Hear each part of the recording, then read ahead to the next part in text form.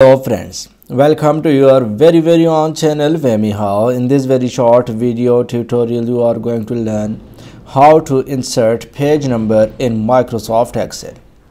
Friends, inserting page number in Microsoft Excel is too much different from inserting page number in Microsoft Word. Friends, to insert page number in Microsoft Excel, simply click on Insert and then in this list you will see an option text. Click this down arrow and then you can see an option header and footer. Click on it.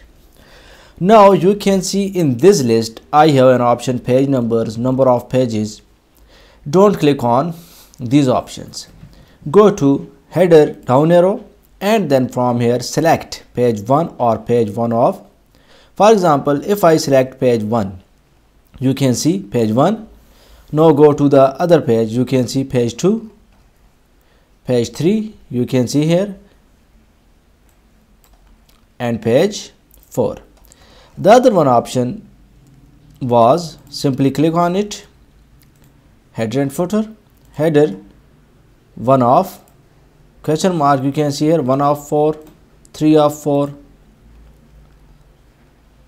two of four four of four. So friends that's the very easy and simple way to insert page number in microsoft excel if my video helps you in any way, please subscribe my channel and hit the like button. Thanks for watching. Thanks for your time. Take care. Goodbye.